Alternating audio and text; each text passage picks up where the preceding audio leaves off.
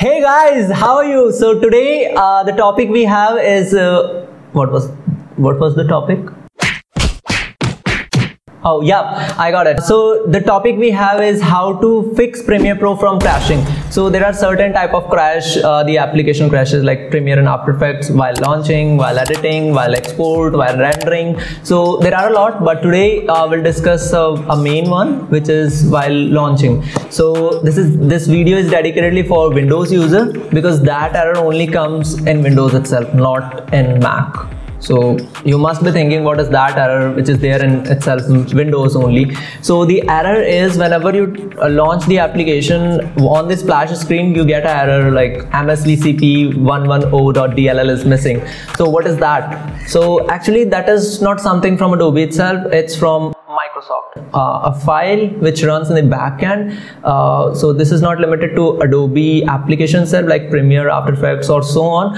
It is applicable for all of the applications which are running on the Microsoft platform. So what all we have to do here, you must have seen this error msvcp dll msvcp.dll missing. So there are some files in the backend that needs to be repaired and after that reboot is necessary. We need to reboot the system. So let's come on the system screen and I'll show you step by step how you can do it by yourself within just five minutes.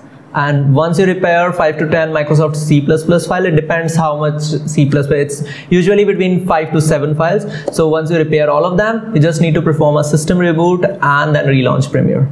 Make sure while you are performing all of your Adobe applications are closed at that moment. So let's begin so let's launch a Premiere Pro application. So like this the error comes in. So in that case what we have to do? So let me show you how you can quickly fix it. So what you have to do uh, it will give you an error. Once you hit ok the application will automatically gonna close it. So after that what you have to do go to control panel. Go to start menu and control panel.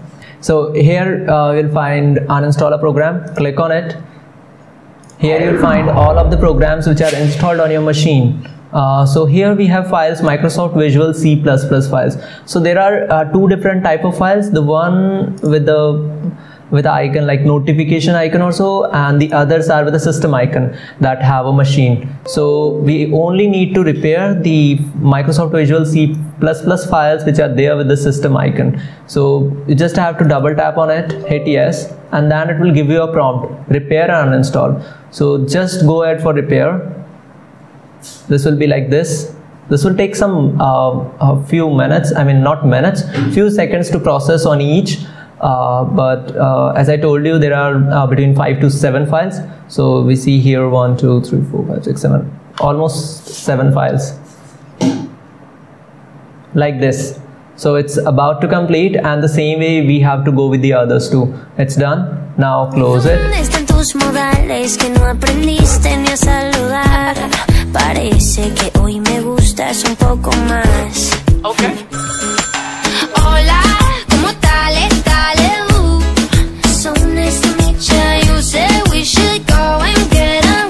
on some of them uh, you might get an option like uh, you might re uh, you might restart your system before you can use the software.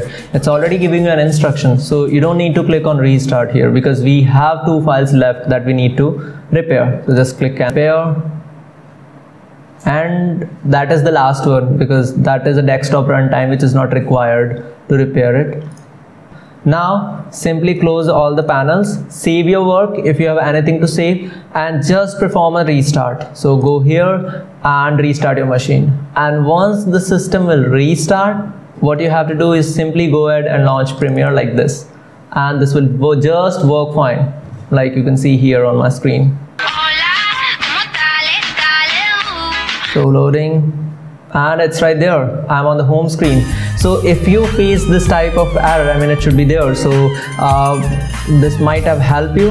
Uh, go ahead like share and subscribe the channel. And if you have anything to add please uh, let me know in the comments below. I'll personally review all of the comments. So this was it. And uh, hope you all like this content and this will help you somewhere. So thank you for watching. Stay tuned. Uh, see you in the next one. Till then bye bye